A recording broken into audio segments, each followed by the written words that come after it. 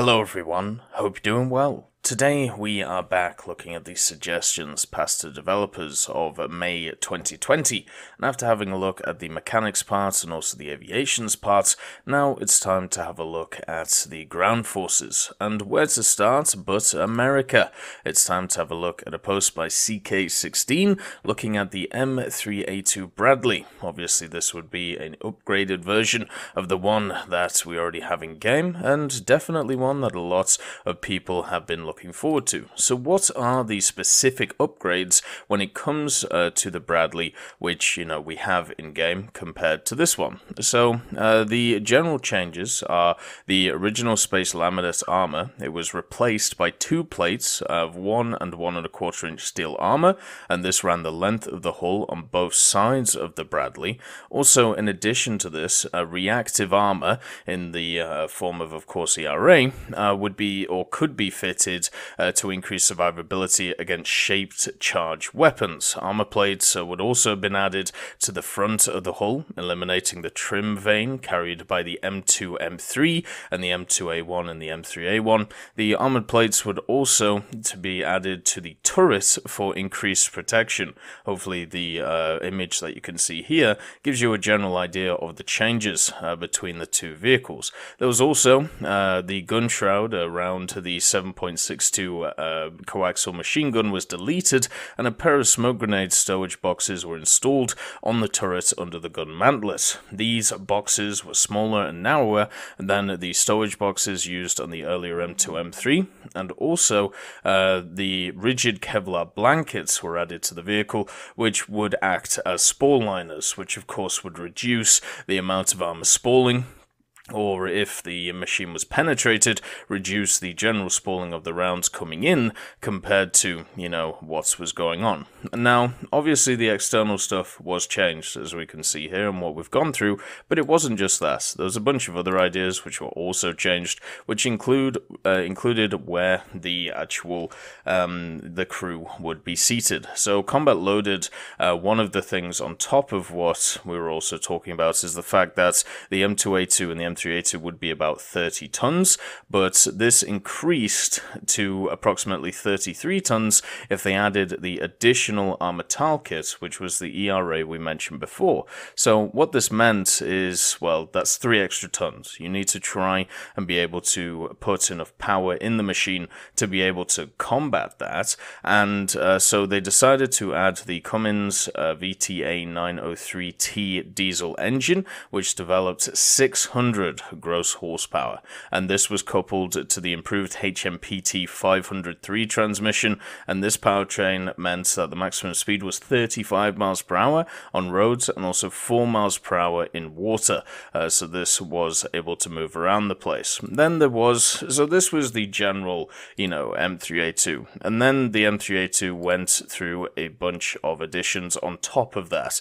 Uh, see these as kind of variants built onto the variants. So after the live fire testing uh, of the M3A2, and uh, they decided to do some evaluations of improvements. And the test program also included a so called minimum casualty version of the vehicle, and what this meant is uh, the vehicle stowed uh, much of the fuel and the ammunition outside of the crew compartments to try and protect them from secondary fires and general explosions. And uh, during the results of the live fire test in the 80s, this meant that more modifications of the M2A2 and the M3A2 went forward. The seating was rearranged in the squad compartment, and the vehicle was restored uh, to reduce the vulnerability. In the M2A2, the two observers were moved to a bench seat on the left side of the squad compartment, as you can see in this picture. And now, of course, uh, after all of the testing and all of the improving and all of the modifications, the real test for any of these vehicles is, of course, when they go into combat. So then, that brings us on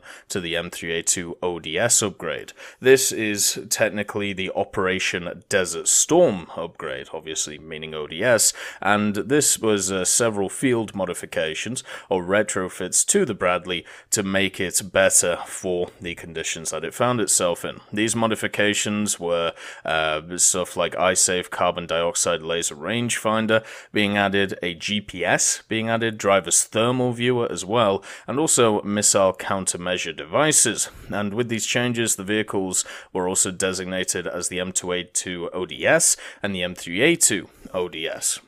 Now, I did keep the Bushmaster, the M242 uh, 25mm, obviously has a range of about 2,000 meters and a standard fire rate of around 200 rounds per minute. The main ammunition being used, or at least will be used in game, being the APDS and also the HEIT, plus some APFSDS, uh, which was used um, uh, 1986 plus. So if they wanted to put in a really modern version of this Bradley in the form of the M3A2, it could definitely get some APFSDS absolutely rocketing around the place. And obviously, uh, with looking at the munitions, the one thing that we must note is, of course, the uh, main armament I think a lot of people would see which would of course be the TOW launcher. Now the TOW launcher uh, on the M3A2 was mainly designed to fire the TOW 2 ATGM. And these are all the TOW 2 ATGMs, or just basically the TOWs in general that you can see in this picture.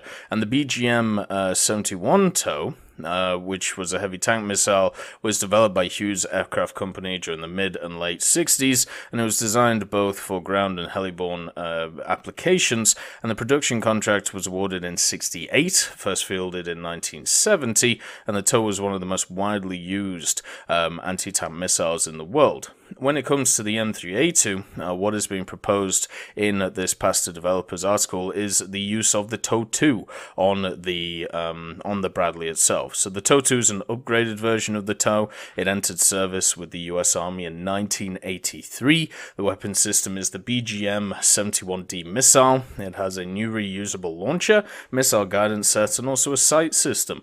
The launcher is lighter, it's compatible with all previous TOW missiles, and it also has thermal optics so that can be used at night. So therefore the new missile has a larger warhead with extendable probes, as well as improved guidance, and the TOW-2 missile uh, is available in several versions the 2A, the 2, and also the 2B. And uh, let's just say many of them uh, do different things. We talked about them recently in the Swedish helicopters thing. You don't want to mess with them. Uh, they'll be able to knock out pretty much anything uh, you have to deal with on the battlefield. So, yeah, it's looking like a really cool addition. Obviously, we already have a Bradley in game, but because of the wonderful versions that are on offer for a lot of the American vehicles, vehicles, it doesn't mean that that line can't grow, and it would be lovely to see another one of these about the place. Extra armor, extra engine, a little bit better crew survivability, and more firepower, pretty much upgraded in every single way. The next thing we're having a look at is from Xenocrite, and this is the Panzerjäger 1B MIT 7.5cm StuK 40 L48. Now, what this is, what this is, is, uh, well, let's just call it a field modification. So, uh, obviously, at the end of the World War II, I think it's safe to say the Germans were pretty desperate uh, when it came to a lot of their ideas. What they were looking for was ways to be able to make certain chassis or certain guns more mobile, so therefore they could uh, defend the areas quicker and be able to retreat when required. And this seems to be a field modification of a Panzer 1 Aus B light tank chassis, which has on top of it a 7.5 centimeter StuK 40 gun. Now, this is the same same gun that you would find on the Stug tank destroyers. So imagine taking a Stug gun and sticking it on a Panzer 1 chassis. This is pretty much what you see in this. And also, I should say that this is also believed to be a one-off field conversion that appeared late in the war. This isn't something that was widespread. It was just something that I'm guessing was tried, maybe along with the Waffenträgers, or maybe out of desperation. It still would be lovely to see, and uh, it's nice to see it brought up. Maybe as a cool little premium. The next uh, set of vehicles is from Cade, and we're talking about the Humber armored cars. And the Humber armored cars are beautiful uh, little machines. If you've never seen them before, uh, here they are in all of their wonderful glory. And what you see from the Humber armored car is that it's a combination of two other ideas. Uh, the first one being the Karrier KT4 and the Guy armored car. The KT4 at the time was already in production for the Indian Army, and the Guy armored car was having real issues when it came to its production levels, uh, so they weren't able to make it quick enough. So they combined the two ideas, uh, created a turret, which was a two men model, and this was inspired by the Mark 6 uh, light tank, and then decided to arm it with the 15mm Besa, uh, and then the armored body was sloped uh, with the high driver compartment, the turret and fighting compartment were at the center, and there were also two reinforced armored hatches on both sides. So additional storage compartments were also placed, um, uh, were also placed on the fenders and behind the side of the doors, and these are procured some extra protection, and sometimes there's also a spare road wheel and all of that stuff. And the Humber is kind of a cool little armored car because it actually went through many little variations as it went along. So the first one you had is the Humber AC Mark 1. This is the basic version. Uh, there was about 300 of them built. This is the one which just has the 15mm Besa gun on it. Then you have the Humber AC Mark 1A. This is an AA version, uh, which had access to a quad set of 7.92mm, very similar to the Rank 1 AA that we see in the British tech tree. Then we have the Humber AC Mark II. This was an upgrade, which basically added um, a little bit better turret, a little bit better radiator, and also a completely redesigned front frontal glacis armor, uh, which is uh, very nice. And then the big one, which is oh no, well sorry, not the big one, the one slightly after the Humber AC Mark III, which was a significant upgrade, it was wider, uh, rear extended turret, uh, and it was designed for three people. It was all, uh, it was designed to accommodate a wireless operator, freeing the commander from the task, and this allowed fitting heavier equipment. There was a sub variant which uh, eliminated the gun uh, to make room for an extra wireless power radio. Uh, so this probably isn't something that we're going to be in the game, but this one is probably the one which makes the most sense. It is the Humber AC Mark IV, and this is the one which was uh, which was armed with the 37mm from the US, the M5 or the M6 37mm, and as you can see, 2,000 uh, plus of these were produced. Uh, so this is definitely the version that I can see, you know, coming into game, and the Humber was used a lot uh, around the place. Uh, it was something which was used a lot by British forces. There was nearly, there was over 5,000 of these built, and also as you can see, the engine uh, being only 90 horsepower, uh, it had a 12.9 uh, horsepower per ton. It was still able to motor around the place and have a bit of fun. It would be nice to see it represented in the game. The next one is an experimental vehicle and one which has pretty much no information on it. This is the Type 98 Chi Ho, and it's being uh, put forward by Azens. And this thing, uh, as you can see, is well, uh, you you know how we talk about a lot of these Japanese vehicles don't have a lot of information. Well, look at this information. So uh, let's talk. I'm I'm just going to verbatim quote the first line of this because I think it's hilarious. Uh, but also understand that Azens is from Japan. He's not a native English speaker, so please, you know, uh, please, uh, please uh, I can't remember what the word is. Um, please, uh, you know, don't go after the general, you know, English uh, literature part of it because there's you know, obviously no need to. So Japanese tank Japanese tanks are very mysterious. Its documents is not so much exist because in the end of the war these documents were burned. The vehicle is the one uh, most unknown, which is the Chi Ho. So this is one of the most unknown vehicles of World War II when it comes to Japan, which is saying a lot because there's a lot of vehicles in Japan which don't have a lot of information on them. So the project where this actually comes from is called the Chi-Ni Plan, and in 1937 the Type 97 tank competition was started, and the Imperial Japanese Army General Staff uh, were looking for a cheap, lightweight, and able to be mass-produced tank, and this would be called the Chi-Ni. But the tank units, uh, which were actually on the front lines, or the tank units who were actually going to operate these vehicles insisted they needed something with better performance. So instead, they went for Plan 1, which was the Chi Ha, which we of course see in game. So the result of the competition was the Chi Ha was adopted because uh, they got more budget uh, because of the Japanese-China War. But however, the General Staff HQ uh, didn't throw away the plans uh, of the Chi Ha um, because uh, it was too heavy. its mass was about 15 tons funds, so they ordered to build the Chi Ho project. So the general idea is uh, there is a picture on this, uh, if you can have a look, which is supposed to show, whoops, uh, which is supposed to show the uh, the Chi-Ho right here in this picture, if you can see it. And uh, generally, it would uh, pretty much be this. So, known things about the Chi-Ho, this is literally it. Um, the Type 98 is its uh, unofficial name. There were two prototypes built at Mitsubishi and Omori, two prototypes built at Kakura and Sagami uh, Army Arsenal. Uh, the turret would be the same as the Type 97 Kai.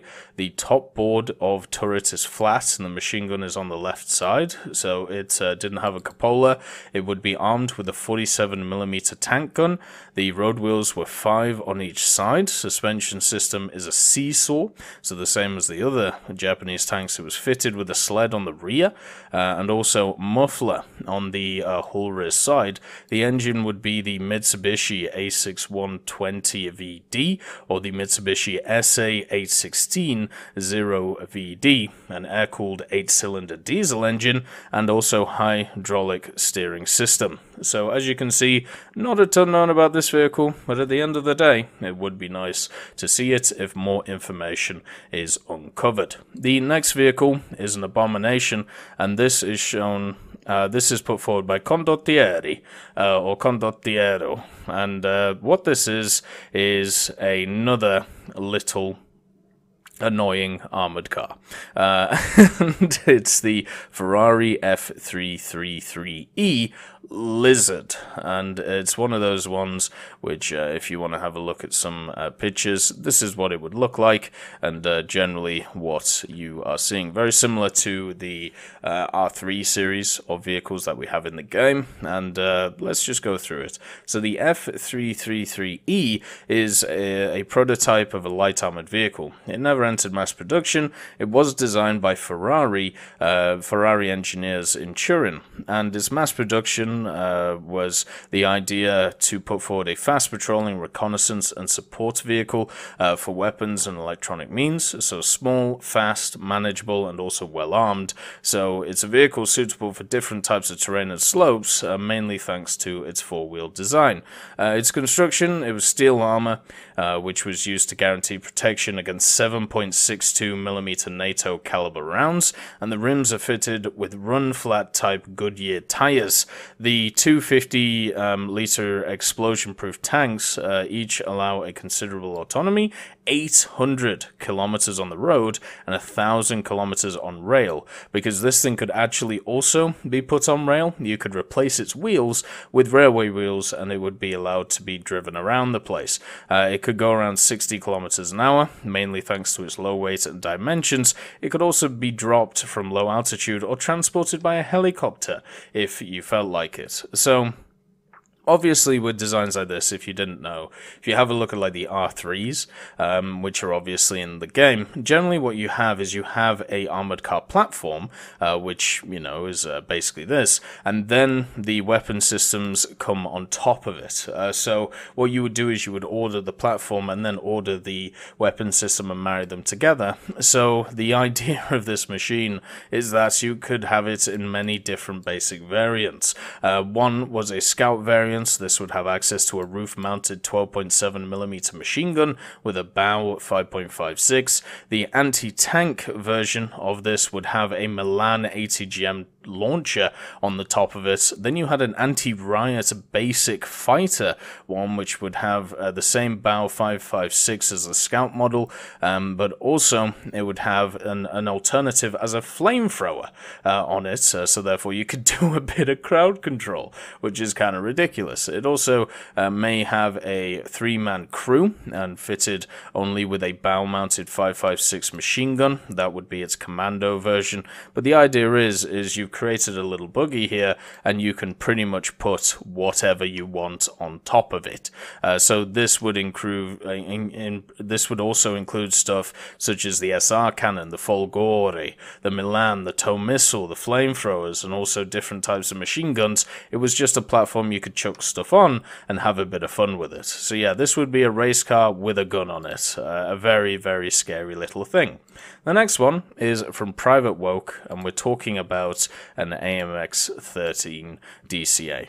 So we obviously have an AMX 13 DCA in the game, and uh, the difference between it and this one is that this machine uh, would uh, would not have uh, the AMX 13 that we have here would have access to the 30 millimeter Hispano Suizas HSS 831s. Obviously, they were very good at what they were doing. And then this um, AMX uh, 13 or AMX uh, 13 DCA would not have access to radar, but it would have access to the upgunning abilities of the AMX 30 DCA that we have in game. So it's probably best to see this thing as an AMX 30 DCA, but on obviously the 13's chassis and without the radar.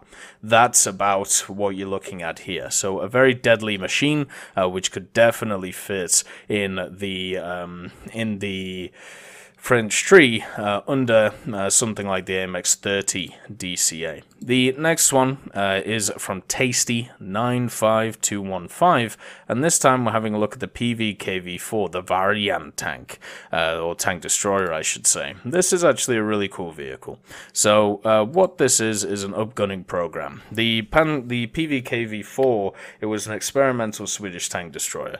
They uh, converted and tested it in 1952, and the general idea was to extend the life of the L60 light tank.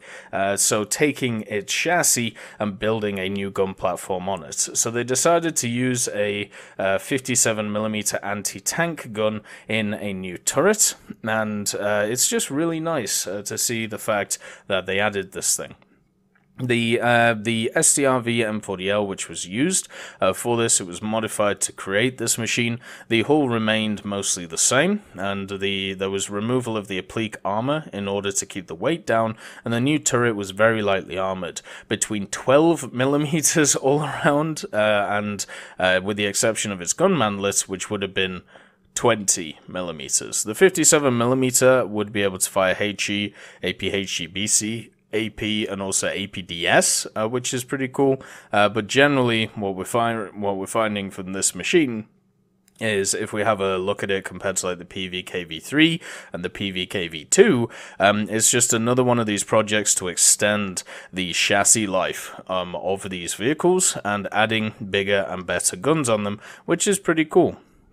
They also had um, plans to add a coaxial machine gun to it and also a thermal sleeve on the barrel uh, pushing forward. So yeah, it would have a 57mm P, uh, PV Can uh, M43, an 8mm KSP M39, and also pretty good gun elevation and depression, plus 19 minus 14, and a rate of fire of 5 to 6 rounds per minute on that 57mm. The engine itself was the Scania Vabis 1664, gasoline 145 horsepower at 2300 RPM, could canter around at 45 kilometers an hour with a crew of three. You had the driver, the gunner machine gunner, and then the commander radio man loader, so he's got a lot of jobs to do. But overall, yes, this is another one of those projects taking an old chassis and giving it some new tricks, which would be lovely to see. But that is all the stuff we have available uh, for uh, this uh, passed to developers. A lot of very interesting stuff, a lot of stuff from World War II, which is nice, and also some go karts, plus, of course, the wonderful Bradley. I hope you all have a wonderful day, and I'll see you next time. I'd like to thank Ambrosius McClellan, B. Young, Battling Bacon, Blackie, Chris Giltnane, Conte Baraka, Daniel Stanton, Elove Goat, Jay Wilt, Martinez, Trigger Hippie, Universe, Eugens Terry, and also A I'm Devilish and Samuel Slick for supporting the channel.